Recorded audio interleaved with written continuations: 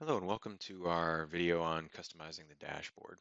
So in the last video we talked about customizing the help desk grid views and in case you're not aware you can also customize the grid views in the other modules as well. I think we mentioned that in the last video as well but uh, you can customize the views in the change management module or in the asset management module etc. And that's important because all of those different grid views that you customize to view the records that you want to view in each of those modules, those views are actually used by the dashboard to create these charts. So you'll notice on my dashboard here today, I have a few charts already. And if I hover just to the top right of one of the charts, you'll notice a little kind of toolbar area here appears. And there's a few different options here. So the preview button here, all it does is maximize it to show this chart on the whole screen.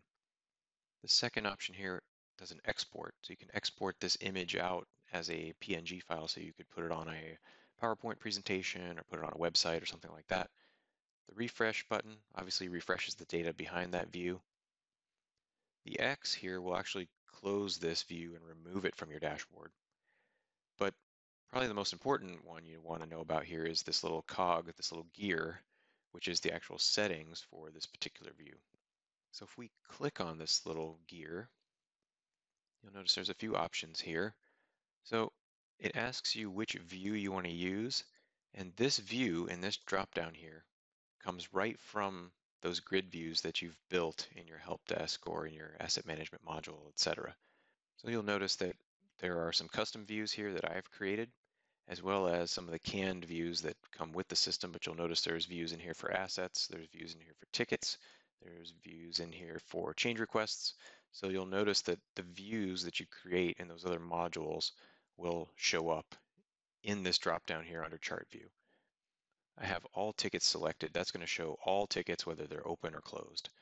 Then you can give the graph a title. So this one I have as all tickets by category, but you could change that and say all tickets by requester. And then you select your chart field and that is the field that you want to group the data on. And so I've since I've called the chart all tickets by requester, I'm going to go down here and look for requester, select that person, and I'm going to leave it on pie because I like that view. You'll notice there's also line and bar. So it just depends on the type of data you're trying to view here. If, if you want to do uh, tickets by day or something like that, then a line might work better because it might break it up by day. But uh, in this particular case, I want to see, you know, which user is putting in the most tickets, for example. So I'm going to leave it on pie. And then you can set the auto refresh to be anything from one minute up to 30 minutes, or you can turn the auto refresh off. So I'm going to leave that alone for now. I'm going to hit apply. And you'll notice my chart is now changed, and now you see the names of my requesters in here. And you probably know this already, but you can double click on a section of the chart and it'll bring up a list of all the tickets that actually belong to that section of the chart. And if you expand these out, you can actually see the data that's in each one of those tickets.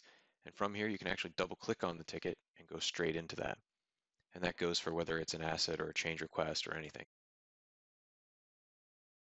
So another thing here, you'll notice that if I hover just near the top of the chart, you'll notice I can quickly toggle between the pie line and bar there. So if I want to see the different types of charts without going into the settings, I can go ahead and do that.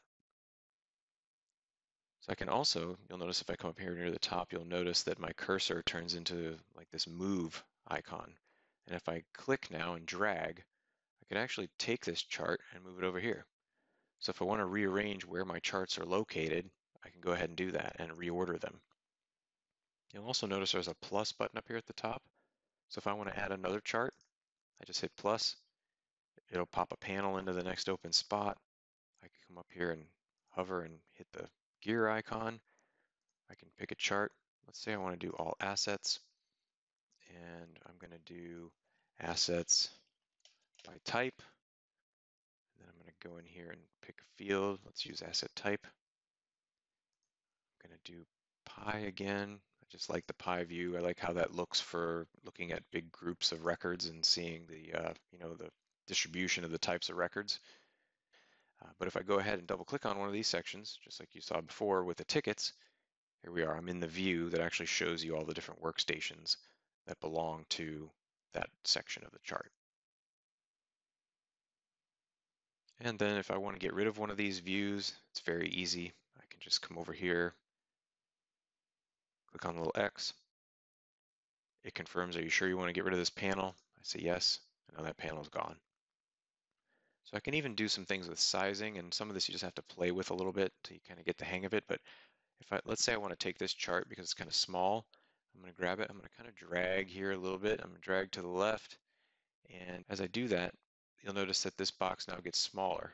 So if I drop it in there, now notice I have half the space taken up by that chart. So now I can fit a lot more charts on the screen because with the pie, the pie fits in one of these smaller areas much nicer than say maybe a line or a bar. So maybe in this case, I want to take this one also, and I want to move this one over and have this be in this small chart spot also. So I'm going to drag this one out and get it to take up the entire width. And then if I wanted to, I could add another section here. So you'll notice there's several different ways you can lay this out. Some of this you just have to kind of play around with until you get them exactly where you want them. And you see, so what I've done here now by grouping the charts like this is I've actually created like another column almost. And you'll notice if I move my mouse over here, I can grab this and kind of resize this column.